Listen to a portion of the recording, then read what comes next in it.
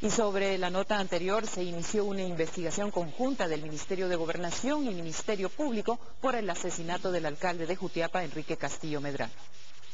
En ese momento desplazamos ah, al grupo más cercano que teníamos de DEIC para ver la escena del crimen con Ministerio Público y por supuesto estamos haciendo ya un análisis forense de las cámaras que se tienen en el área para poder determinar eh, la ruta por la que ellos entraron y tratar de identificar a las personas que llevaron a cabo ese atentado. La ruta de escape también, ¿verdad? El atentado de, hoy, nosotros creemos que por el contexto en que se da de la situación de crimen organizado en el área,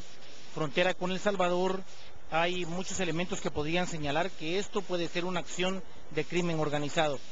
pero es eh, muy prematuro. el análisis de la escena del crimen, más la investigación posterior que lleve a cabo el Ministerio Público con eh, la Policía Nacional Civil va a ser determinante en ese sentido.